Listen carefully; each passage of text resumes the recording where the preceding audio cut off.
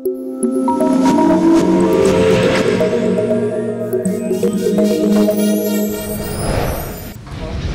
sebenarnya emang agak gambling juga sih karena kan kita berdua nggak ada yang berpengalaman ya di dunia uh, food and beverage ini gitu. Cuman ya kalau kita nggak nyoba nggak akan tahu kan gimana hasilnya gitu.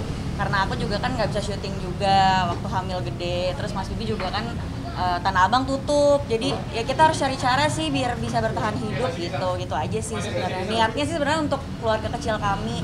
Tapi alhamdulillah niat baiknya juga disambut gitu sama disambut yang baik juga. Iya. Se- sebenarnya kayaknya 70% gue yang kerja dia cuma ngebantu Posting. posting, repost segala macam jadi gua ada adik gua ada tim juga dua orang yang ngebantuin jadi ya Vanes lebih gue pengen fokus dia ngajarin anak sih segala macam kita pengen yang terbaik lah buat Gala apalagi ini anak pertama Vanes juga sayang banget sama anaknya ya ya itulah sayang sama anak intinya Tapi Vane, dirimu sendiri seperti apa sih? Banyak orang yang penasaran dengan eh, cara didik eh, Vanessa terhadap baby seperti apa sih kan? Sering posting TikTok juga dengan Gala. Itu gimana sih? kan sekarang zaman mah udah canggih ya jadi yang misalnya aku nggak tahu gitu biasa aku sharing sih sama teman-temanku yang udah kebetulan punya anak gitu atau nggak misalnya aku nggak tahu apa bisa aku google atau nggak aku tanya ke dokter anak aku gitu. Ya dibawa sebenarnya yang dibawa enjoy aja sih. Yang penting kitanya happy gitu kitanya tulus ngurus anak. Ya itu berjalan dengan sendirinya sih kayak naluri-naluri keibuannya tuh muncul sendiri gitu. Nggak nggak ada nggak ada sekolahnya kan jadi ibu itu kan. Tapi memang pas begitu punya anak tuh emang beda lah gitu. Semuanya keluar dari dalam diri sendiri gitu. Nggak ada yang ngajarin sih.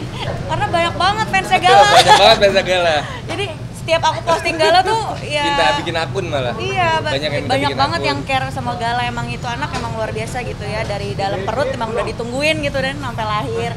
Jadi aku memang eh, suka lah membagikan momen aku sama Gala biar bisa semua orang lihat gitu. Memang aku kan nggak pakai suster, aku nggak pakai pembantu juga kan untuk ngurus anak. Jadi apa apa aku sendiri sama Mas Bibi berdua gitu. Ya kita juga masih belajar sih untuk ngurus anak.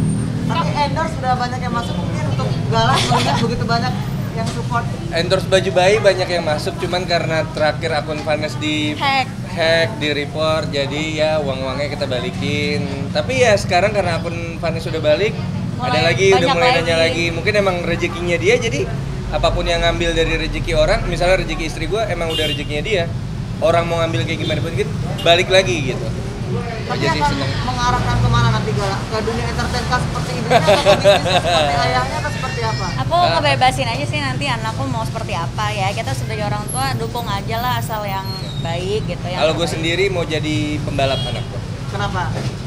karena apa ya karena cocok aja gitu Eh, bayangan gua saat Vanessa itu hamil Vanessa selalu nanya mas anaknya mau jadi apa aku pengen punya anak eh, pembalap gitu soalnya namanya ada Gala Sky Sky itu kayak kenceng gitu lebih nembus langit jadi bisa pengen jadi banget apa anakku aja jadi pembalap gitu. Luas lah artinya. harapan gua tapi kalaupun dia nggak pengen jadi itu ya udah itu hidup